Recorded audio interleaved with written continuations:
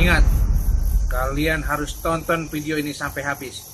Dan jangan lupa subscribe, like, dan komen video ini. Oke? Okay?